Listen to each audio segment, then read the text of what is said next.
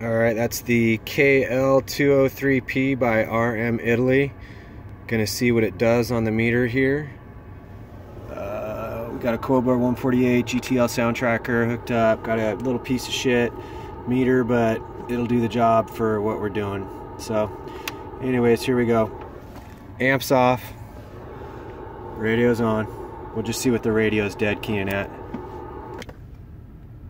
Audio audio. Okay, so it looks like we're about a 3 4 watt dead key swinging up to 15. So that's what we're getting right now without the amp. Let's turn the amp on.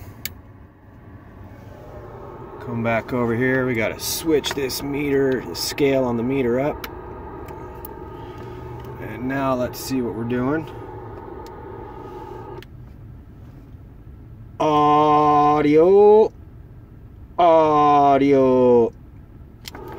Okay, so we're about 30 on our dead key, swinging to just over 100. Audio. Audio. So yeah, it's doing all right. Um, let's switch it to sideband see what it does.